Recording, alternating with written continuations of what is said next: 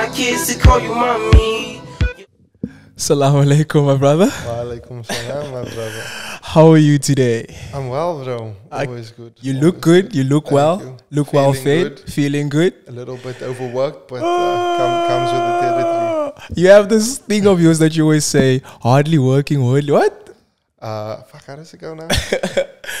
working hard or hardly working. Yo, you always on Trying to maintain that balance. I feel you know? feel you, You I can't feel work you. 25 hours a day. day. Um, kind of just have to keep the pace slow, Slow. and steady. Um, and over time, it, it will become something. But I guess in the infancy of the journey, that's where the, like you just adamantly just like putting in, putting in, putting in, putting in, putting in. It's been a long time of that. I get you. um, working in silence, trying to get those 10,000 hours, 20,000 hours in. Um, Take me back to the beginning of how those 10,000 10,000 hours began because I think lots of people that are introduced to you right now sort of like relate your emergence into the space. Oh, this guy was so lucky. Oh, but they don't know that like, you know, this was a layered um journey of so many confusions, letdowns, disappointments, ups and downs. Um, but like, let's first begin to the family setup. Um, your family is part of the first colored families to, you know, move into the white sort of like Constantia, you know, neighborhoods, which is like a different, which was a different time back then. Um, take me through. Um, uh, your grandparents is obviously in the trade. Um, tell me more about like their influences and how that sort of trickled down to um, you finding yourself in the space you're finding yourself in right now. so, yeah, I mean, as you mentioned, the, the Mm. exposure to both the creative and the business and academic sides stemmed from my grandparents who are unfortunately no longer with us. So, may they be granted the highest places in paradise. Um, but yeah, man, growing up, um, grew up or was born in um, Crawford. Um, my mom had a place there and she was supporting my dad while he was completing his studies. Um, but even before that, uh, my, my grandfather uh, on my dad's side, um, he was a baker. Uh, they were based up in Joburg for during that time, and um, he moved down to Cape Town when things weren't really working out for him. Um, so he left his family in Joburg and moved down with my dad. I think my dad was about 14, 15 years old. Um, and he tried to find a career for him uh, in Cape Town. Um, and eventually he settled on menswear retail. Um, he founded uh, a shop called Skipper Bar, um, which grew to about 20 stores nationwide. And if you chat to a lot of the older generation, um, they will be aware of, of what Skipper Bar meant. I mean, from Florsheim shoes, grasshoppers, Nevada trousers, all that OG shit um, that sort of encapsulated the style for, for both black people and no, non-black people of color. Um, so even before I was born, that influence and that inspiration was there, I guess. Um, on my mother's side, both my, my, my grandmother and my grandfather were in the trade as well. My grandfather was a dressmaker, um, and he made a lot of pieces for the emerging political class. Um, whereas my grandmother was more in the factory setting, um, managing factories and production and that sort of thing. So that influence really, from the business side and from the creative side, um, was what I was born into. Um, so born in Crawford, lived there for about two years, um, and because my grandfather, had, on my dad's side, had experienced um, success in terms of his business, it allowed him to provide uh, an opportunity for my dad and his older brother to get an education. My dad ended up becoming a doctor. Um, and because of that familial success, uh, my grandfather managed to buy property, um, somewhat of a legal loophole Mm. in Constantia. And so after about two years, Because because it was unheard of for colored and brown Yeah. black people to Yeah. occupy that space. I mean, because we we moved into the area um, at that time, it was about 1990, 1992. I was born in 92, by the way. Mm. Um, yeah, as you say, it, it wasn't allowed. Um, sort of at the end of apartheid, um, it still still wasn't a thing. Mm. Still considered a white neighborhood. Mm. And so, yeah, we were one of the first families of color to move into the area. um, it wasn't exactly well received. Um, How was it growing up in that environment as a kid? Um, no, obviously, most of your family was still in areas like Crawford, um, Athlone, right? Mm. Yeah. Um, how was it? over Cape Town. All over Cape Town, Yeah, really? predom- predominantly. all in all in colored. Because obviously your mom is from Bo-Kaap, right? Yes, yeah. yes. So like, how was it growing up in that? Were you always aware, like, of your surroundings? No, not Really, yeah. I think I think as a young kid, um, your environment is just your environment. It's Mm. what you take in, right? Mm. Um, I think it's it's when you grow up um, and when you have a certain level of consciousness that you're aware of Mm. of the certain dynamics in in that area. Um, but yeah, I mean, it, it wasn't exactly well received. Like I said, there was there was a, you know police coming to the door trying to find out you know what's happening. here. But Mm. you know, during that transition period, you could kind of apartheid was at an end, so you could get away with it, I guess. And they and they knew they my my dad's family um, had certain connections with the ANC, Mm. so then you sort of the, the development of of how apartheid was coming to an end. Mm. Um, so for me, it was more just about living and experiencing my environment, Mm. um, and because my family um, has always been in fashion. Mm. I grew up with Vogue and Harper's Bazaar on the table. Um, my mother was also in the trade. My aunt, uncle. Mm. So everybody was kind of in this in this trade, um, and at the time, sort of 80s, 90s, Mm. or, or towards the 90s, that our our rag trade in South Africa took a bit of a nosedive Mm. because Chinese mass manufacture came onto the market. Mm. And because our manufacturing setup here was very much geared towards mass manufacture accounts, we couldn't compete for price point or for time or whatever the case may be uh, with China. So the industry itself really didn't do so well. I mean, even up until now, right? Mm. Um, the last year or the, over the past few years, there've been a lot of the last sort of big manufacturers have been closing Mm. down. That is starting to change, and we'll touch on that a bit later. Mm. But yeah, man, that was just my environment growing up. Um, amongst amongst this environment you're obviously becoming of age and you sort of like throwing an understanding of what life means to you. Um you an academic first. People don't know this. You, you head into engineering. After engineering you say property. After property you say fashion.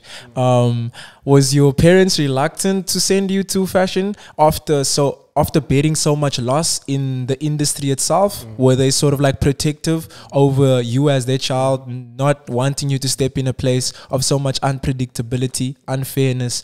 Because i mean like we can't compete against china you know that's just the reality of the situation. So um, was it intentional for you to do all of these other sort of like um, educational practices first before heading into the creative side Yeah, I mean, I think it, it was always for me about a balance. Um, I think the losses that I had seen people incur in your Um, family in my family, Mm. um, a lot of them didn't have the business skill. Um, a lot of them Mm. only had the creative skill. Um, so when I finished high school, I was like, okay, what can I do that will allow me to have a creative output, but then at the same time to create a viable career? Because Mm. as you say at the time, or even now, fashion um, was never really considered Mm. a smart career path. Mm. Um, so w- when it came to engineering, I, I, I decided on mechatronic engineering, so the engineering of robotics, um, because the idea of making robots or software systems for cars or whatever the case may be was all design related and, and was a creative output for me.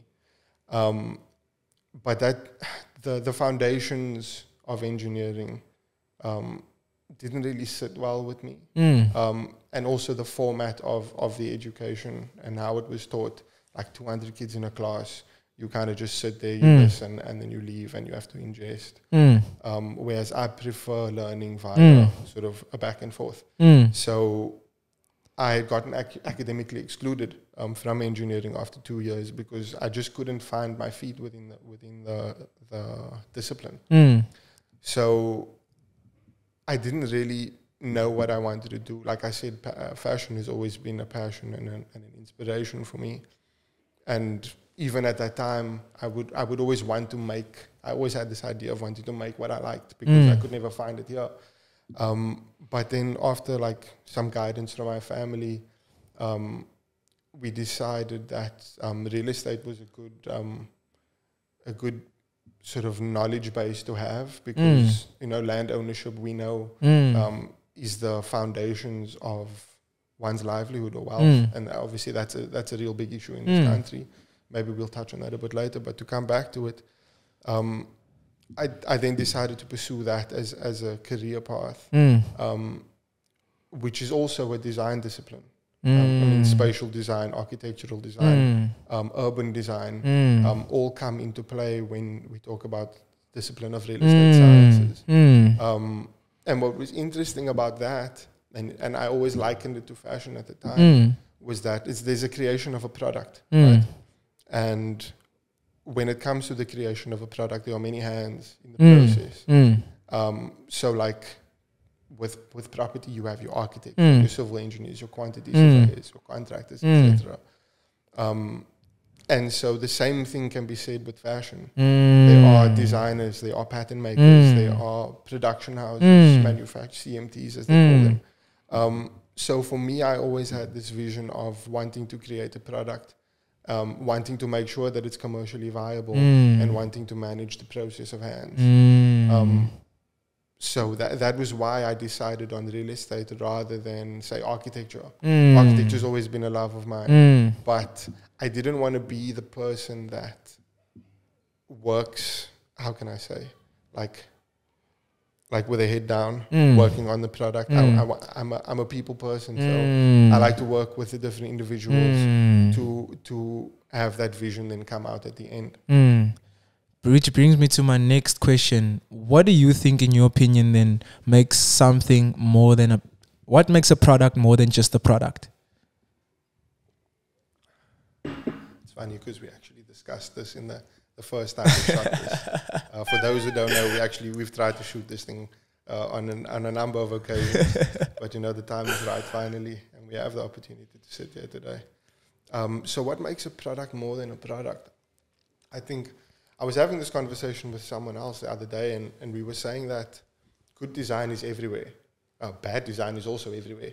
Um, but in order for us to before we before we get there, as we say, good design is everywhere, and we live in a world where we are we are fed this idea of you've got to have the latest iPhone, Mm. you've got to have the latest pair of shoes, Mm. you've got to you know acquire all these different material objects in Mm. order to acquire social status Mm. in the Western world. Mm.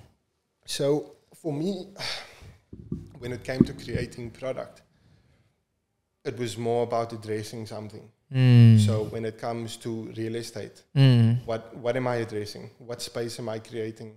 Uh, what problem am I solving? Mm. And again, there, there's so many issues when it comes to housing and land and, and ownership in this country. And I would like for my solution to lie within that Mm. paradigm or, Mm.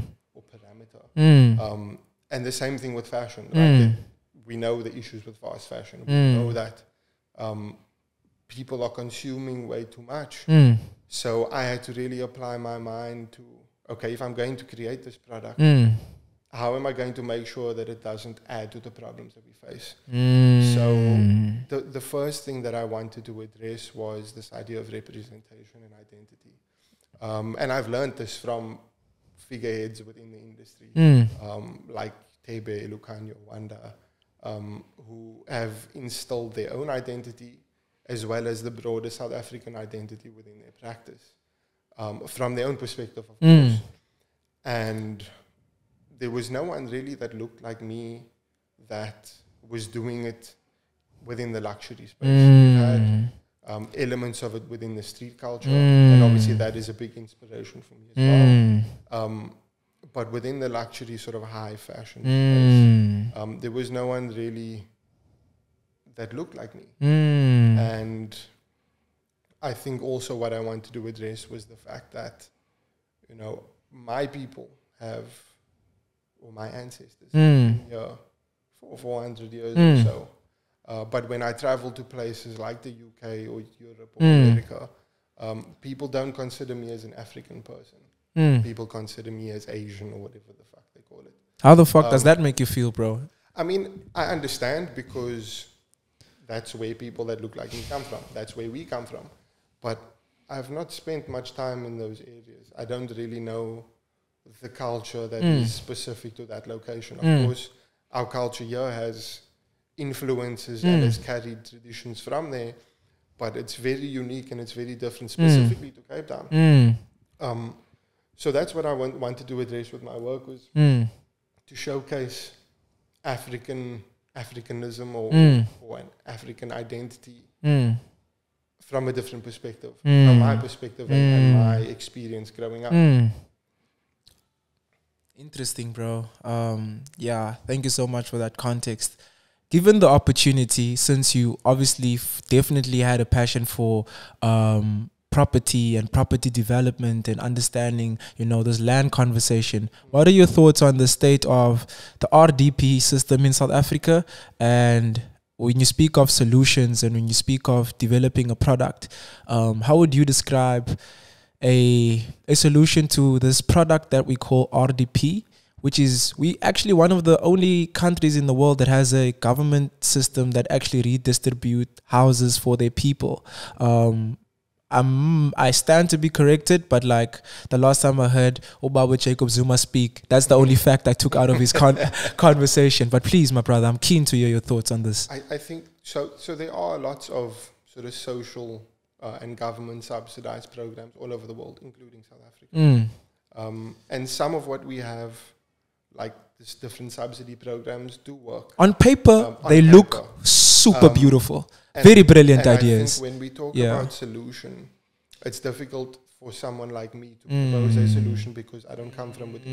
I've had exposure, yes, um, Mm. and I, I, I mean, I dare to use the word grateful to have that exposure and Mm. that experience because I think you can go your whole life in Cape Town Mm. without seeing the reality of the place that we live in. Mm. Um, so perhaps I won't touch too much on a solution. Mm. I think That's for me to be able to propose a solution would have to be a lot in a in a much more collaborative environment mm, mm. from people who really understand the dynamic of living within those areas. But to come back to RDP as a product, um, it's it's extremely flawed um, from an urban design point of view. Mm. Um, Can you begin by explaining sure. what is ur- urban Sure. design? So, so when we talk about urban design, we, we essentially take a spatial product and we say, okay, what is this spatial product in relation to around it? Mm. So when you talk about a house, a house is not a house just because it's four walls with a couple of rooms. It's a house that's close to transport, Mm. it's close to economic opportunity, Mm. it's close to schools. Mm. You know, so so when we talk about urban design, um, we talk about how different products or, or spaces communicate with one another to provide a dignified way of Mm. living. Mm. Um, so to co- we'll come back to RDP as a product, I say it's flawed because, firstly, it's it's one house, one family, Mm. right? Which means that if we're going to provide housing for 200 families, you need quite a large mass of land Mm. in order to be able to do that. Um, so by default, it immediately puts people on the periphery of the city, right? So so Mm. people have to spend more on transport. I mean, Mm. people already live like that, but Mm. the idea is to remove some of those frictions or barriers, Mm. right? So when it comes to RDP, the the land requirement, as I said, is is huge. Mm. So you you sort of pushing people to the edge of the city. Mm. Um, and then the way that they constructed is, I mean, there's been so many reports on poor construction, Mm. cutting of corners. You it's the Mm. South African government Mm. at the end of the day. So Mm. the, the product itself is not really well made. Mm. Um, and the design principles don't go beyond building four walls. Mm. Um, so that's why I think there are new ways of thinking, new technologies Mm. that can be implemented in arriving at a solution Mm. for land ownership, for adequate Mm. Um, and the same thing can be said for healthcare, for Mm. for energy production. Mm. you know, for, with load shedding and things. Mm. We shouldn't have this problem in the modern day, Mm. but hopefully through the next 20 years, 10 years, five years, we'll see some innovation and some technology being applied to these different spaces to, to you know, create something a little bit less frustrating than what we Mm, mm. experience now. Mm. As a young, creative South African man who has so many passions of wanting to contribute, you mentioned earlier emblems of who you are. Uh, a, a, a a much more refreshed and refined representation of your people in a very like luxurious um, tradition heritage centric way um, how important is it for you to have south african emblems in what you do I think it's the most important thing. Um, I think authenticity in a narrative, in a creative output, has to be sort of reflective um, on something. And for me, it was always just this is what I know, this is what I've grown up with. This is the story that I can tell that I don't believe has been told accurately. Um, and again, like I said, I've learned that from so many other people. I mean, Lukhanyo, I think, is. Um, shout out Lukhanyo, by the way. flowers Um, flowers Lukhanyo is also the first person to buy one of your famous trousers we'll we'll touch talk- on yeah, in a yeah, yeah, but, yeah, Um, I mean, the way that he portrays people in, in almost this like Mm. royal aspect, I think something that really influenced me. Mm. Um, because again, when you talk about colored culture, Mm. it's it's very closely uh, linked to street culture, Mm. and there are you know positives and negatives to Mm. that. But again, when I was at school and we, we would wear Nikes, Jordans, Mm. LeBrons, Mm. um, at a white school like SACS, Mm. um, which was founded by Cecil John Rhodes. By the way, Mm. we'll probably touch on that in a Mm. second. But um, the the response of the dress or the Mm. way we spoke um, from the majority white population Mm. was always very negative. I mean, you're. I think it's something Mm. that they never really understood, Mm. and I, I think perhaps that's changed Mm. now. But at the time, in junior school, um, it was a, it was a, it was a weird experience. Mm. Um, so I wanted to remove the box of street culture Mm. from how we perceive ourselves and how we, we, we are perceived by others. Mm. Wow. You wanted to remove The You- box. the box. Because I street mean, culture box. I mean, yeah. the, the street, it, it's so tricky Mm. because like there's so many inspirations and foundations and things when it comes to street Mm. culture. Mm. I mean, I after I graduated with on uh, with my honors degree, Mm. I worked at the corner store. Mm. Um, and I mean that in and of itself, even before that, Smith Mm. and Abrams was such a, a keystone Mm. in our creative culture, Mm. obviously geared around street culture. Mm. And again, I, I learned so much. I, I interned under Shukri Joel, Mm. the owner and creative director of INI. Mm. Again, like what an incredible person to learn from. Tell the children Um, who Shukri is. It's so difficult to to describe the caliber. Please. um, But but Mm. Shukri is someone who- who's of the previous generation of creatives. Not to give away his age too much. Mm. Shout out Shukri. But um, um, yeah, man, very very. I mean, he also grew up with a tailoring background. His Mm. father was a tailor, and he was mm. you know trained as a tailor by default. Mm. Um, very influenced by the by the Japanese design movement. Um, and so, in that pocket of quote unquote streetwear at the corner store, there was this individual who was incorporating tailoring into the conversation. Incredible shirts, incredible fabrications, um, incredible cuts of trousers, and again, i- those tailoring techniques really just elevated the product in a different way. And I'm sure that a lot of people will now be able to see that Mm. reference in my own work when when it comes to shirts and tailored trousers Mm. and, the, and the like. So yeah, man. So so so studying or learning under Shukri as a design intern, um, aside from just the product itself, I think Mm. it taught it it influenced my outlook. Mm. Um, Shukri is someone who very open to everyone. Mm. Um, one of the most humble individuals that I've had the pleasure of meeting, and he's like an older brother to me. Mm. Um, so to learn from someone like that um, was really the perfect way for me to start gaining formal knowledge in fashion Mm. um, and to apply that outlook to everything else that I want to do. Mm. Um, and then everybody else within that space, Mm. from the brand owners themselves to the individuals and the Mm. youngsters who were coming in and out of the store, Mm.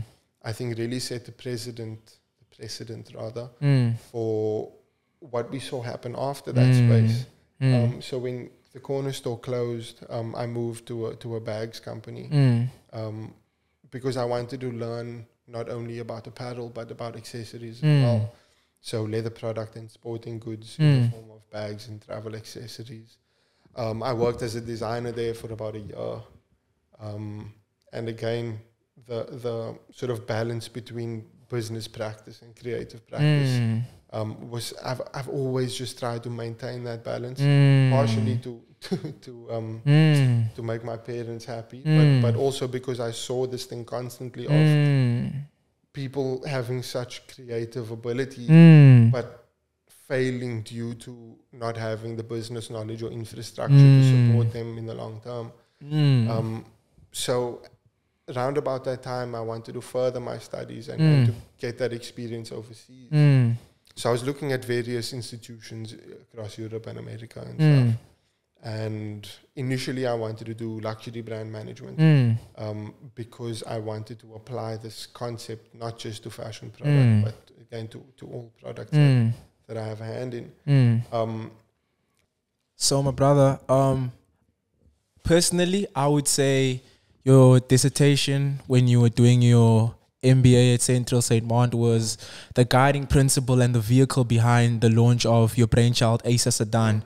In your dissertation, I've had the honor of reading it. You speak about a lot of influences, um, the likes of Virgil, um, some um, Japanese Muji. Moji, um, even many more. Um, but I think the, the area I want to touch on is um, how some of your garments were inspired by. In fact, before we get to the garments element or the inspiration behind or the Let's dissertation talk about about, that let's experience. Let's talk about that. Um, Yeah, Because I think, yeah, as I mentioned, it, Yeah. it was always seen as this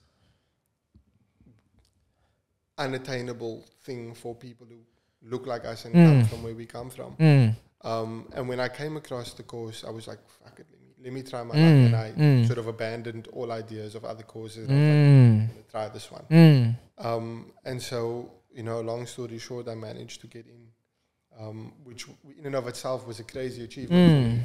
Uh, because a lot of the people who I had looked up to Mm. in, the, in the global creative space Alexander McQueen, Samuel Ross, Samuel Ross. Samuel, Samuel Ross wasn't at, at Saint- St. Martin's, but he did work with Oh, St. Martin's okay. the Cold Wall. But for sure. as you mentioned, um, Mm, Phoebe Philo, Phe- mm. uh, Alexander McQueen, Craig Mm. Green, Kim Jones, Mm. uh, John Galliano. mm. Um, Kim Jones. uh, shout out Uh, Kim Jones. But um, Mm, yeah, man, like I said, because of the the weight of the individuals that Mm. have come from this place, mm, it was never really seen, uh, or I never really saw it as something that could be a reality. mm, So when I got in, it was a crazy achievement for me, um, particularly for an MBA. I think mm, most people do MBAs later on in their career. mm, Um, and, and, and again, MBA um, as a concept is very traditional.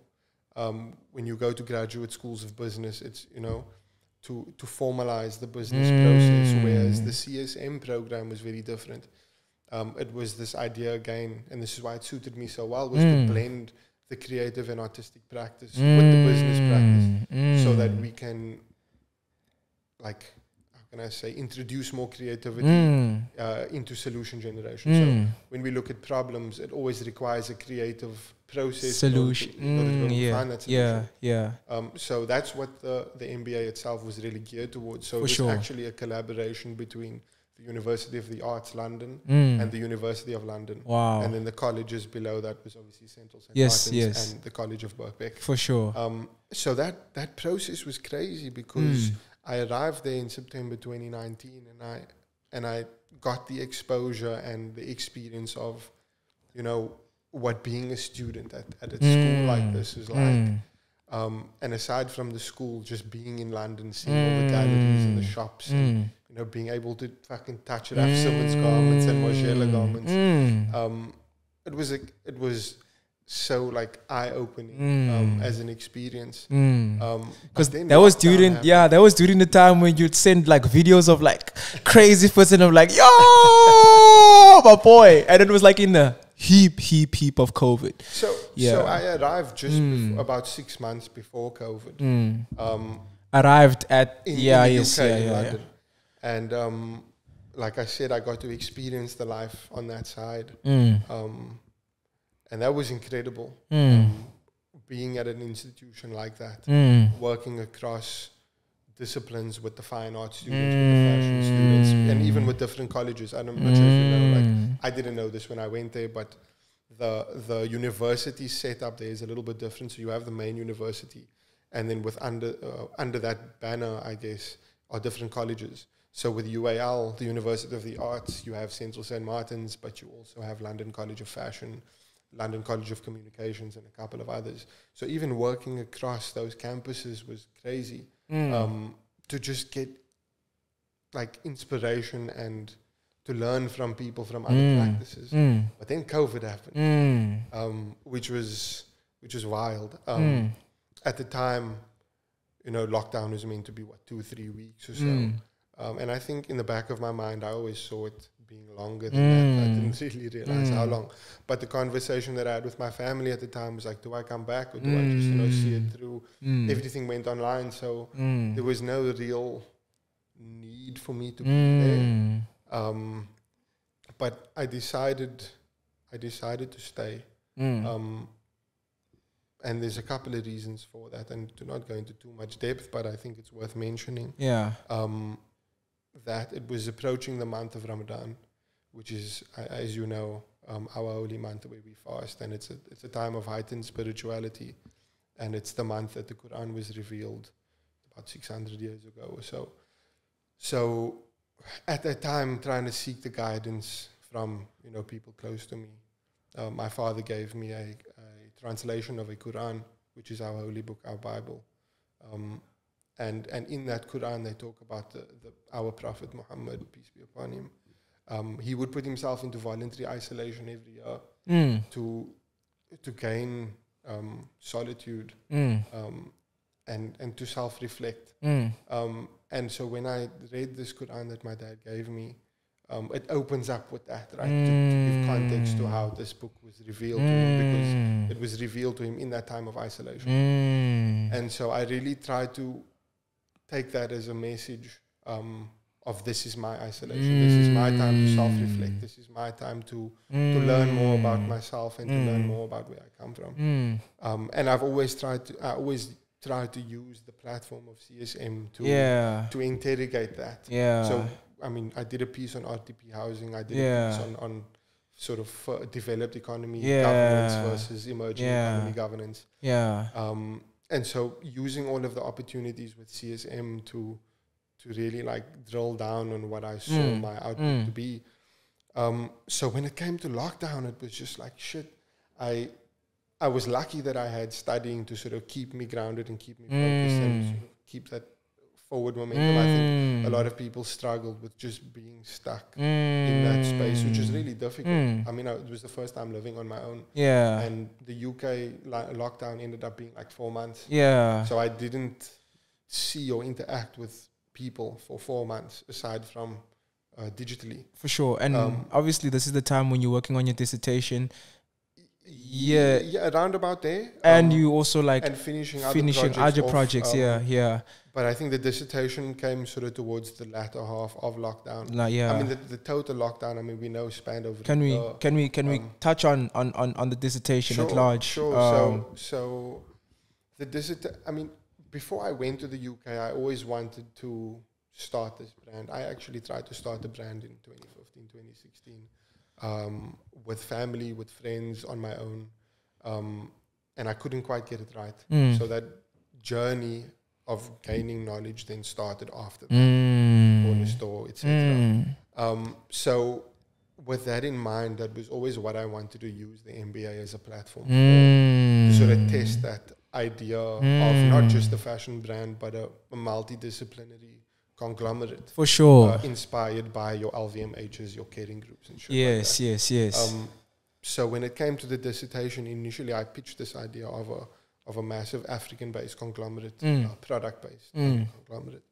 Um, and my supervisor was like, "Yo, you need to slow down. Yeah, Mm. um, you, you need to find the starting point." Mm. Um, so I had to kind of work backwards. I had a project, a film project that we shot in 2019 with um, a good friend of mine, Tariq Dali. Flowers, Flowers flowers. To, to Tariq. Um, who And always, Junaid. always believed in the vision, Mm. and Junaid was a part Mm. of that as well. um, Jason, Jason. Prince as well. Mm. Um, and that project never actually got released, Mm. but I presented it as one of the three art Mm. projects for my dissertation. But I, I really needed to position or, or to interrogate myself w- and, and using the dissertation as, as that platform. Mm. So With I- that, what with that interrogation, what sort of realizations did you make? So remember, I said that I, I always wanted to create um, a representation, Mm. and so I had to really root. So, so the way the dissertation works is you have to really justify your idea Mm. by doing research. Mm. So the research, and we'll try and brush through this quickly, although it's, it's, it's a fairly detailed Yeah. document, which I would like to publish at some point. Mm. But so we started off with looking at um, early modernist art movements, um, predominantly Dadaism and Bauhaus, um, again to balance the art and Mm. design principles, Mm. which which were which arose um, sort of around the time of the First World War and Mm. post First World War, where the world was in a state of turmoil, Mm. the same as it is now, and that was the Mm. idea is to to compare that time with this time. Mm. Um, so those movements really stood for social change Mm. and for subversion and for anti-war rhetoric. Mm. Um, and, and this idea of the, the greater work of art, Mm. which essentially means that it's bigger than all of us. Mm. You know, we say that all the All time. the time. Like this is what we're experiencing Mm. now. Everybody has their role to play. Every individual Mm. has their own path. Mm. Um, but the the collective aspect of it is so much more powerful. I think Lukhanyo said it really nice at the end of his Mm. speech at LVMH. Mm. Can't remember the quote exactly, but, Um, but it, it's, the, it's, the it's powers the pow- the powers of a collective is more mo- powers is more powerful than the power than the powers of the Of- singular. Yes, the- Yeah. just the, the power of the collective is greater than the power of the individual. Um, so, Yeah. so Dadaism and, and, and even Bauhaus Mm. um, were really rooted in that Mm. um, experience. Mm. And so we started off there with the early 20th century Mm. um, art movements. And then what I wanted to do is create this chronological order of how this practice has been taken over the past 50, 100 years. And, uh, and, and how can I put it into today's context? Mm. So from there, we moved into the post. So for, for those who don't know, modernism was loosely the period of 1850 to Mm. Um, and these particular movements were in the early Mm. 1900s. Mm. So, post World War II, um, sort of leading towards more, more towards the 1950s, Mm. um, and then into the postmodern era, Mm. we had um, Dieter Rams, Mm. who was who was probably one of the most famous product designers. Um, so, really looking at how he took modernism into his time Yeah. um, with principles like reductive design, Mm. um, like slow consumption, Mm. like non-trend based product development. Mm. Um, and alongside the Western practice, Mm. guys like Dieter Rams, we Mm. had the Eastern practice, Mm. um, which and, and my case study for that was uh, Muji, Mm. um, which is a Japanese um, design company Mm. that does everything from fucking stationery to Mm. housing itself.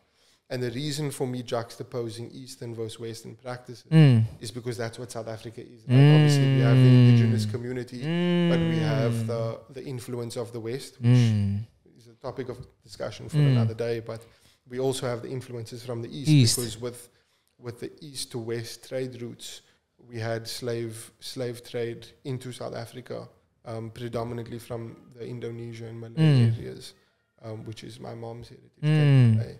Um, so that so that was the reason for me wanting to sort of Mm. create that that comparison between Eastern Mm. and Western practices. Mm. Um, so with when it comes to Muji, again, it's a, it's a similar idea of holistic uh, design that doesn't put pressure on individual to buy the latest this or that, or Mm. to fill one's home with all the Mm. latest Muji shit. Mm. It was more about creating product that serves and that can be interpreted by the Mm. individual Mm. um, in any way they see fit. So Mm. so uh, for me, it is a little bit more, uh, or a lot more respectful of the Mm. individual consumer Mm. um, to create product in this way. Mm. Um, and so from from Dieter Rams and Kenya Hara, who's the, who's Mm. the art director of Muji, Mm. uh, we then moved into the contemporary. So we went from modernism to Mm. postmodernism to the contemporary. Contemporary, yeah. And and there we looked at or my case study at least, was the Kanye effect,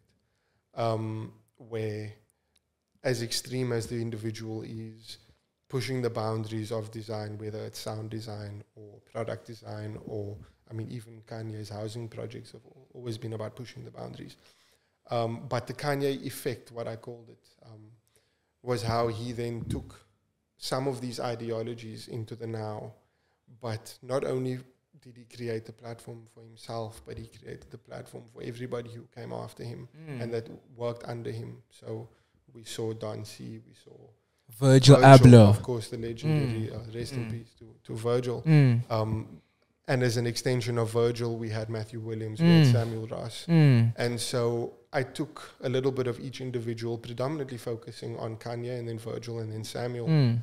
of, of how their practices sort of find the intersection between commerce, design, and art. Mm. Um, but to but to use that model in in my context, Mm. I had to at the same time do a, an historical analysis of Mm. South Africa's colonial history. Mm. So, and what I wanted to really put focus on was how important South Africa was to the Western economy, the Mm. global economy. Tell them about the Dutch Indian Company. So, I mean, a, a lot of Like, us would have yeah. learned about Jan van For Riebeeck sure, for and sure. the Dutch East India Company, Yeah. and the same about Cecil John Rhodes. It was the biggest company ever in human history. in yes. human history. Um, and I and I again that I wanted to shed a lot of light on this because we we see South Africa as this little Po- place at the pocket, bottom of the mm. earth that's not really has doesn't have any relevance to the rest of the world, but Mm. it, it couldn't be further from the truth. Mm. And I think we, we were almost taught that idea um, when we were taught about Jan van Riebeeck Mm. and the Dutch East India Company, Mm. and the same thing with Cecil Rhodes and De Beers and Mm. Anglo America. Mm. Uh, we taught about these individuals as figureheads Mm. and we hold them to high esteem Mm. in in the sort of hegemony or the, or Mm. the traditional way of teaching. But when you really look into the history of it, it couldn't be further from the truth. Mm. And so I wanted to tell that story differently, um, Mm. and I wanted to show showcase the realities of the Mm. situation of the oppression. Mm. And this we know, right? Mm. But I think what really put it into context for me was when I learned how important this enterprise development was to the Mm. global economy and still is to today. Mm. So when you look at the Dutch East India, for, for example, the Dutch East India Company, um, it was the biggest company of all time. Mm. Um, to put it into context, it's roughly about four times the size of what Apple is today, Mm. if you put it into its present value. Mm. And a lot of that wealth then got um, absorbed by the Dutch Empire. Mm. Same thing with the British, right? Mm. Um, with Cecil John Rhodes and his endeavors here, Mm. whether it's agriculture and viticulture, or, you know, mining and that sort of thing.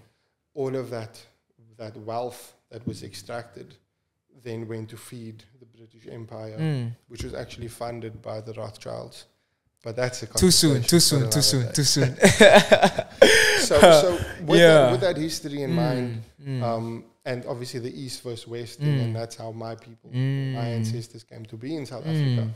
Um, I really had to sort of position those streams of research, which were separate. I had to bring them together, Mm. and so that then, in broad brushstrokes, I mean, there's so much Mm. detail to this, but in broad brushstrokes, brought me to my practice Mm. um, of creative product creation Mm. um, with this narrative Mm. installed on both the creative side and, and the historical side.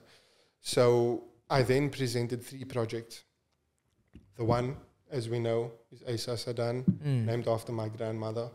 Um, but I also presented a short film as well as um, a chair design.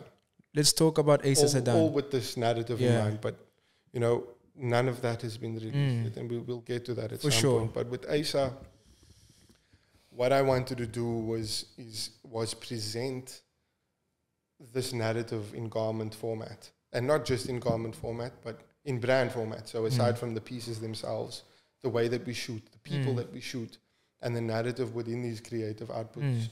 Uh, all has have to be synergized. Mm. Um, so I actually came down to South Africa um, at the end of 2020 when we managed to get out of the country because I hadn't seen my family for about a Mm. year as well. Mm. Um, so my idea was to come visit home and, and Mm. to do the design work here Mm. so that um, I can then present this Mm. uh, uh, as a final piece in the Mm. dissertation. Uh, I ended up getting COVID and getting stuck in Mm. South Africa, um, but I think it was all meant to be. We then presented ASA as this concept of um, a, tr- uh, a heritage luxury brand Mm. that sits within the contemporary. Um, so uses historical analysis, um, identity, and heritage as a way of informing the contemporary, Mm. the current zeitgeist. Mm. Um, so the product that we create references various components of this history, whether it's military, whether it's it's traditional, Mm. cultural, um, to create these garments that suit the now, Mm. whether that's aesthetic or function. Mm. Um, I wanted to create a product that that again serves Mm. rather than something to be consumed via trend. So we really design um, in a simplistic manner. I don't Mm. think I'm making anything that necessarily hasn't been done before, but I think Mm. it's the way that we put it together and the narrative that we That- create around it. Speak speaking about those narratives that that we create around it um i mean our uh, like formerly known collaboration m Jazolo Mhm, happened like last year mhm. Um and also at the cusp of you sort of like introducing the brand or in the process of intro- Mm. introducing the brand to the world um tell me about um that piece i mean we have many collaborations together but it started at m Jazolo first primarily um t- t- talk to me about like um how that came together because i mean i think we need to give genesis to that moment Sure. but i want you to lead that boat So in that at, conversation at, at the time, mm. I'd been working on the brand as part of the dissertation and afterwards for for a, a number of months, about six months or so. Um, and at the, and sort of post dissertation, because I was I my plan was to work overseas, but I was here, so I thought let me let me continue with this journey. So pitched the brand, um, and Daniel of Duck Duck Goose was the one that that decided or, or that gave us the platform. So shout out to Daniel. flowers flowers flowers Uh, he's been an instrumental figure Mm. In, in the journey of the brand. Mm. But to come back to M. Jazolo, which I think was a, a couple of weeks, if, if not a couple of months before the official launch, Mm. um, I wanted to. Well, I, th- I think you took the lead on that by, by saying, "Yo, I'm going to Joburg. Give me some garms to shoot." And at the time, because it was something like so personal, um, I, I wasn't sure. But then I know you, right? I know the individual, and I trust your creative vision. So I think it was important for me to almost relinquish a little bit of control. And I think what was incredible out of that piece was my creation being interpreted through a different lens. Mm. Um, obviously, the project was very much in line with the brand manifesto um, and and this idea of the previous generation venturing into the city for new opportunity Mm. um, was something that that aligns almost perfectly Mm. with the brand manifesto. Mm.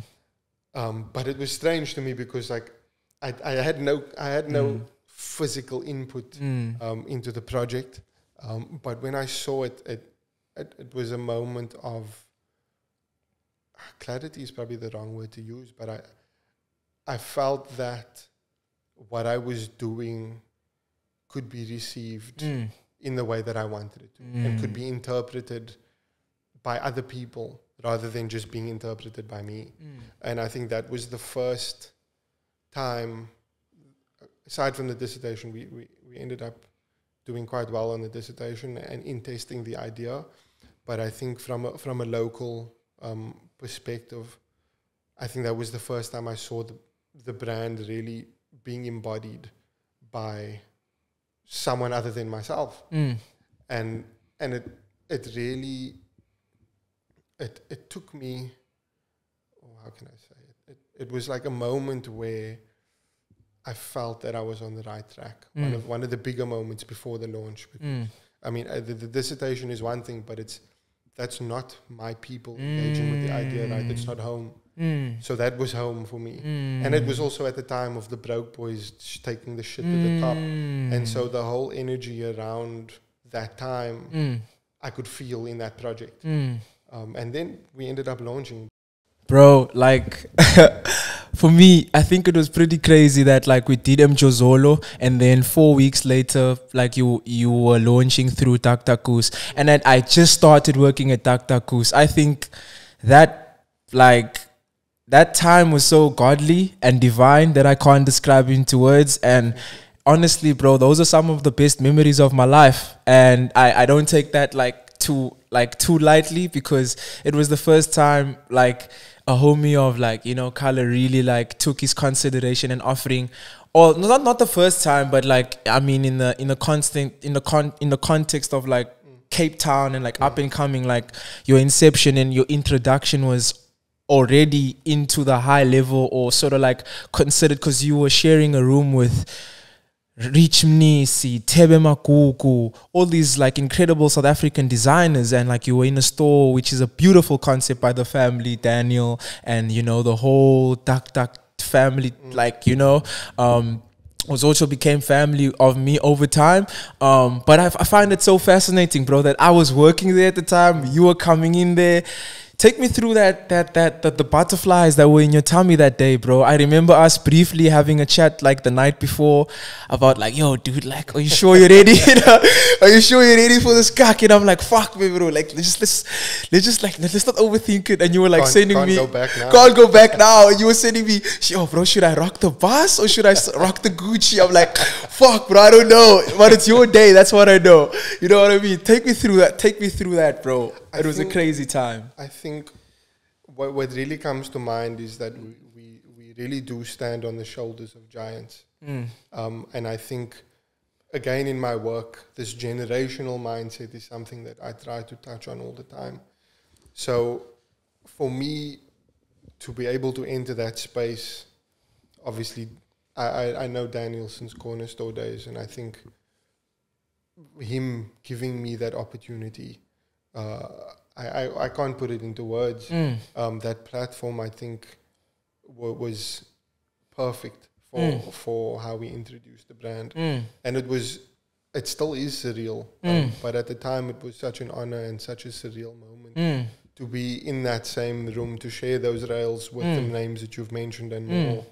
Um, and it, it, it to this day it, it it doesn't there's an element of it that almost doesn't feel real but you but you spoke about the divine timing of it.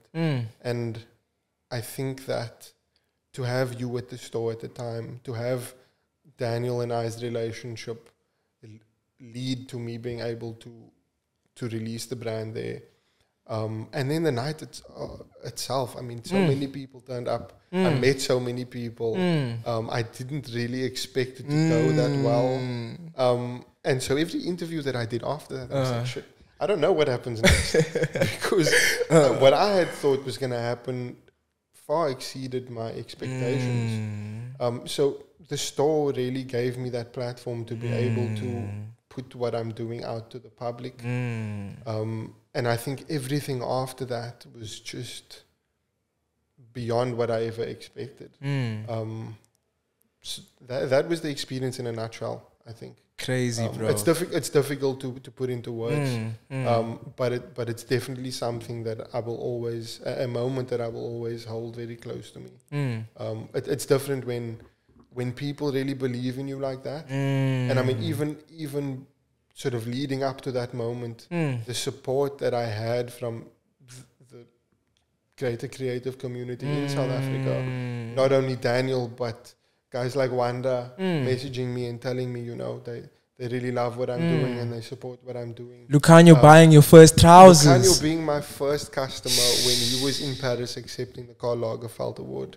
Um, there's a note that you had from that time uh, where there was some alterations that needed to be done to his trousers.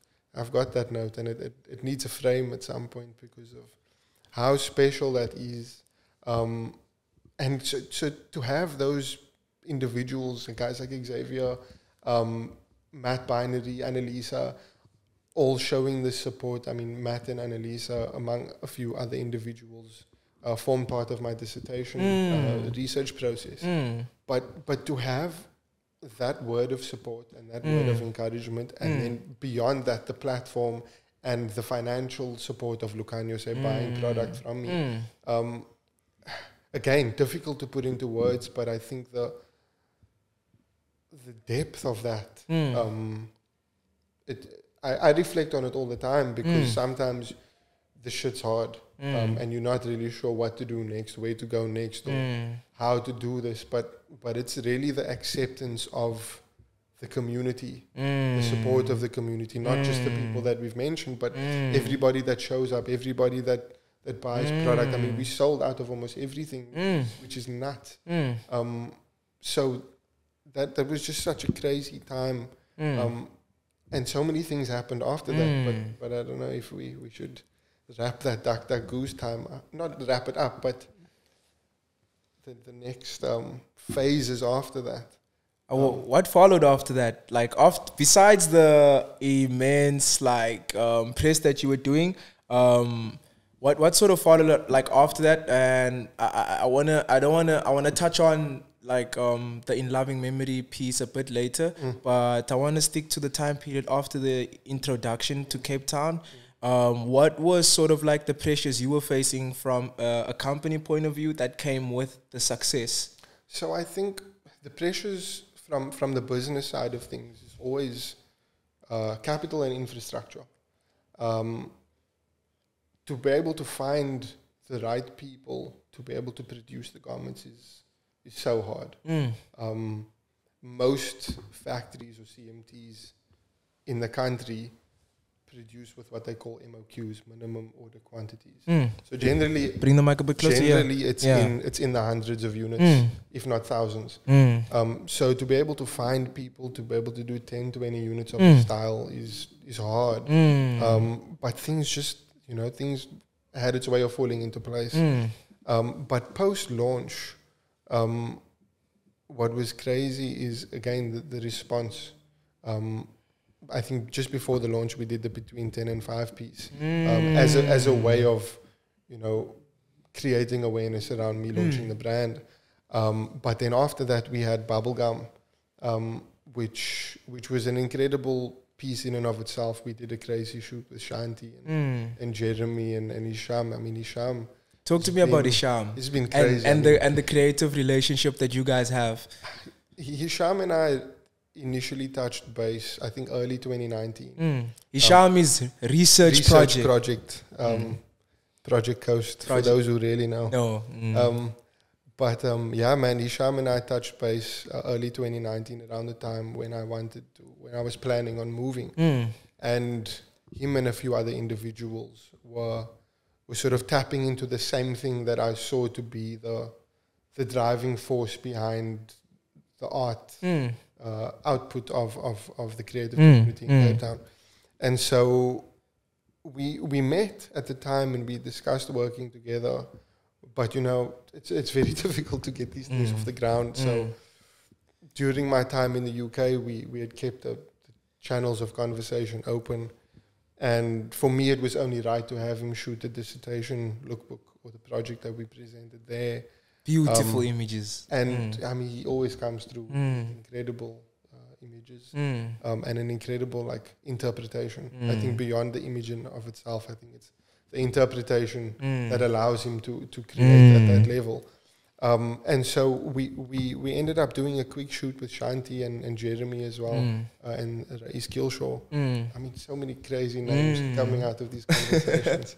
um, Flowers to everyone. yeah, man. I, mean, I would love to be able to just talk about everyone else. Yeah. um, so we did that shoot um, at quite an iconic house in Rylands, which, if, Mm. if, if people aren't people aren't aware, it's a predominantly Indian Muslim suburb um, in Cape Town, um, and this house was designed in the 80s. It's, it's super modern. Mm. Um, I, I would imagine it would have been revolutionary for its time, but Mm. you know because it's in an area like Rylands rather than Mm. Constantia or Camps Bay, it's Mm. kind of overlooked. Mm. Um, and I've I've driven past this house so many times. My a good friend of mine, Junaid Rawood, Mm. um, lives next door. Mm. Um, so we shot this piece, and Bubblegum Club then reached out to me to to you know to write a feature on the launch of the brand. I mean, the way that Samani, uh, shout out to Samani by the way, but the way that yeah. the way that he um, the way that he described the launch um, was again so humbling. Mm. But but the timing of the images and and him reaching out was perfect. So we, we released the images alongside the article, Mm.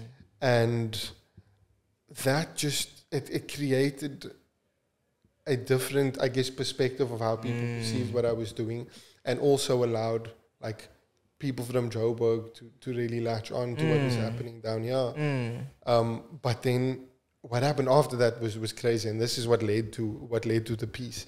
Um, we we were reached out to by um, a New York-based company to to apply for an award, um, and you know, looking through the through the past winners, everyone sort of did film projects, um, and so I wanted to do a film project, and, and who better to talk about film than uh, the gorgeous Bushman himself.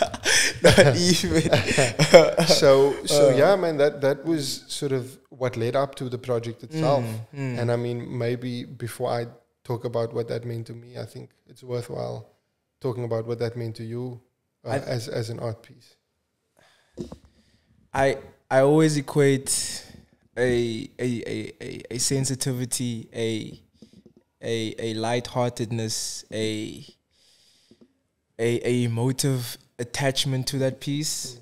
I think the making of it was an extremely taxing uh, exercise. for sure Um, two and a half minutes two for two and a half minutes, and um, I, I think what we were able to put together really outweighs our creative. It wasn't even about me and you Mm. or Asa Sadan. Or the, okay, it was about Asa Sadan. It was but led has, by a, it has a as- broader it, meaning. it has a, it has a, broader a, relevance. a, a broader relevance, a broader connection, and like when I when I when I look at our muse Mira Jean, uh, it, it was it was it was it was sort of like so like I don't know. There was a divinity to it that I Mm. can't e- explain. Um, I, I I I'm humbled that you you know entrusted me to you know in, incorporate this vision in a way that you know we could collaborate live, collaborate collaboratively execute.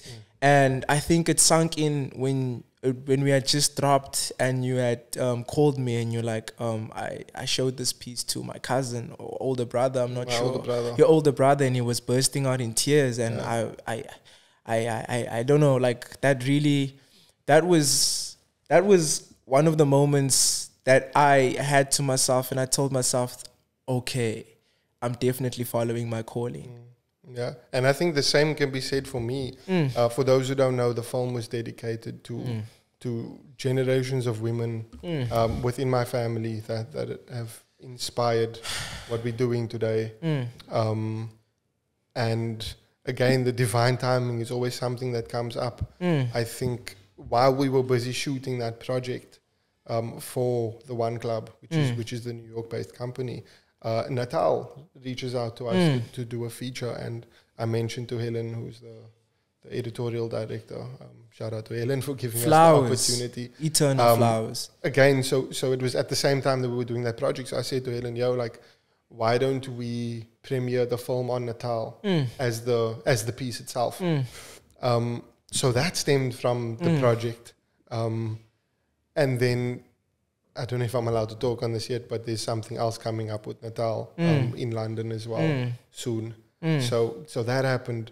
We got a position on an accelerator Mm. um, as a result of that video. Mm. Um, so as you say, it, it was really one of those moments, like Zolo, Mm. like the launch, where it just affirms um, the trajectory and the path and the calling um, because I think a lot of the time the shit is hard. Mm.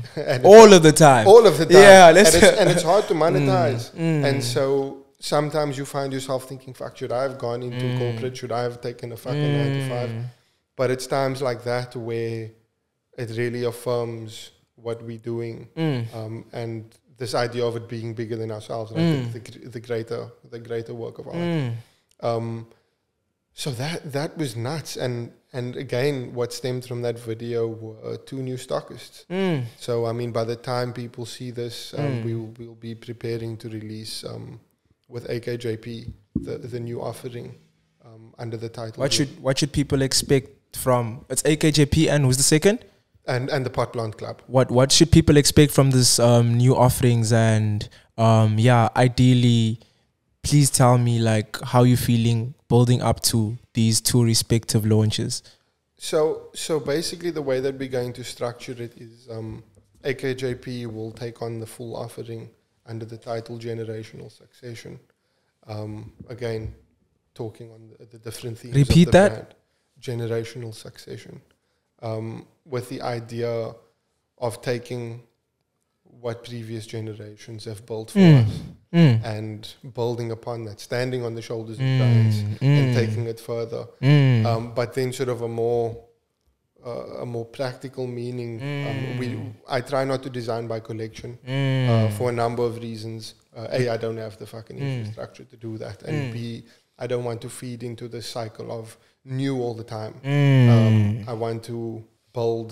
Like like um Muji. Yeah, Kenya, Kenya Hara. Kenya, Hart, yeah, Uh, yeah. So yeah, exactly. This Mm. idea of of building better Mm. rather than building new all the Mm. time. Mm. Um, so there will be a lot of silhouettes that we have been offered, um, Mm. that we have offered previously, Mm. um, a lot of which have sold out. So we'll be restocking on some of that, and then Mm. um, adding five or six new styles um, as an offering. So so the way that we the way that we create these offerings is Mm. we take the feedback from the audience Mm. or, or the community, Mm. and we'll add or subtract on the offering Mm. based on that. A lot of it also has to do with um, access to fabrications and shit like that. Mm. Um, so some of the stuff we just can't get again. for sure. Um, that's that's just how it goes. Yeah. for so, sure. So yeah, it's it's AKJP will be housing the full collection or the full offering. Mm. Um, with and then Duck Duck Goose and Pot Plant Club will be more consolidated. Mm. Uh, Daniel's a very specific guy who knows what he likes. For sure. um, and the same thing with um, with the Pot Plant Pot Club. Plant Club. Um, and it will be interesting for me to see e- each each um, shop or retailer um, has their own audience, um, and so it will be interesting for me to see how how each audience or each group of people mm. adopts what we do. Because it's three different spaces. Well. I would put AKJP in one space, but Pot Club is like a different vibe. I think the Pot Plant Club It's sort of harnesses that corner store energy. Mm. And so, even though it's more sort of towards the street culture, Mm. um, again, that's a part of my experience. It's a part of my influence. Influence, it's a part yeah. of my heritage. yeah. So uh, it's it's an, it's incredible to be adopted by the space, Mm. um, as well as AKJP. I mean, I've For been sure. shopping there for such a long time. Mm. Um, so it's crazy to, to, to be able to have my product in there as Mm. well. Uh, what's also fucking crazy is is going from one stockist and f- four styles to like ten styles, Wow. tripling production. wow. I think we went from like hundred units to like over three hundred now. wow. Um, which is it's nuts. To, I mean, Mm. just dealing with that from a business aspect is, is fucking hard. Um, and you're you- doing all of this by yourself, I am. Um, together with. I am. I think it, it, it's again this this um, comparison between the individual and, and the collective. Um, I don't. I I do everything by myself, but I also don't do anything myself really. Mm. Um, I provide the direction for everything. So Mm. whether that's comment, whether that's the shoot, Mm. video, Mm. um, how we roll out the press and all. That. I do all of that Mm. myself, Mm, mm, but with other people always. Mm. So it's it's it's an interesting journey and it's an interesting role to Mm, play. mm. Um, and and for it to be my own thing, my For own sure. my own enterprise, For sure. is something quite special. lastly bro um yeah it's like we touched on so many beautiful emblems of like you know the, the, the, the past leading up now and where we're going because i would like to believe like this is still the infancy Definitely. we haven't scratched the surface I mean, we only we're six seven months in now. yeah and it's the Formally. it's crazy bro i don't think i've ever seen a brand introduction like yours ever in a Thank you, climate of thank south you. africa um i think we can all attest to this like um and this i don't know like like luxurious like taste levels like label called it experts of what did he call it again in the in the first interview Sure. I've, I've watched that shit so many times. times. Now I can't, I oh, dude, you know what I mean? Um, uh, and I um, and I think you called it a fashion house. a fashion a fashion house, which it which it's it's it's all, getting there. you, you know what I mean? And um, yeah, bro, I just wanted to say like um, what message do you sort of like want to have there to say? What what message do you have to say to um, a young Imran out there in the skirts of Rylands, Rondebosch, Crawford, Athlone, who has a I say a young Imran, I mean a young person like you, Mm. or a a younger version of Mm. you, or kid, or anywhere you know that is watching this conversation. Um, what is sort of like the best advice you received and the worst advice you received, and what they should do, you know, to really rel- relinquish and trust themselves to take the steps necessary towards their dreams. Man, um, I think there, there's so many layers to that. Um, I think you mentioned the worst advice, um, and I think even the worst advice ended up being the best advice. Wow. I think that that advice that I took on or decided to to go with, sort of, I, I would end up hitting a brick wall and having to change my direction. So in a way, I regard that as good advice. Um, th- same thing with the with the bad advice that I decided to reject in favor of my own vision. Also had its way of affirming itself. Um, so I would say that I think the most important thing is just to seek knowledge whatever means you have available to you, whatever people you have around you, um, gain as much knowledge as possible.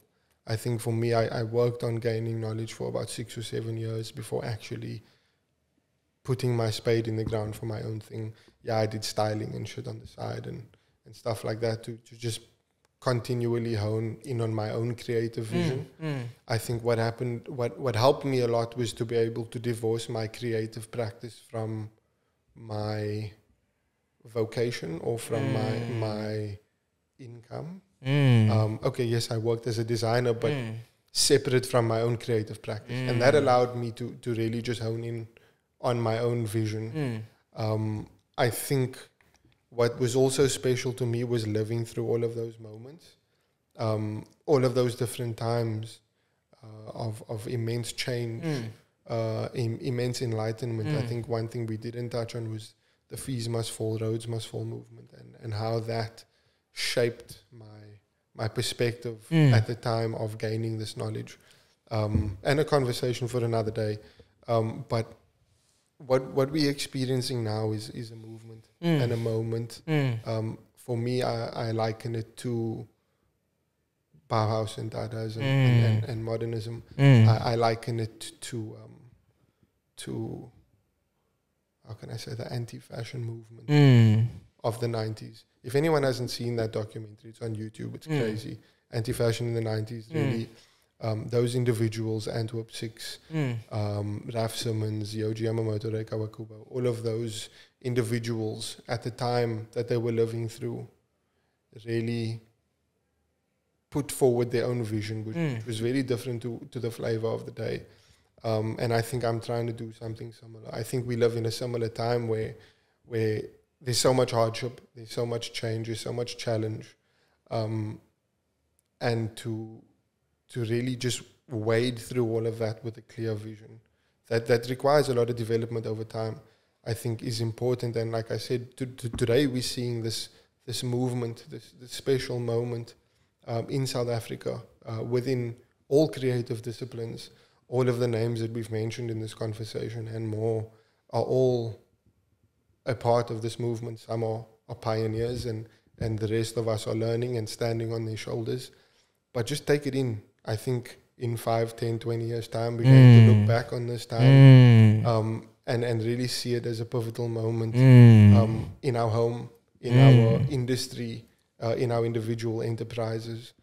Um, so yeah, man, that would be my advice: is to gain the knowledge, take your time, hone in on your vision, and just live in this moment, and and take the lessons from it, and and put it forward for the next generation.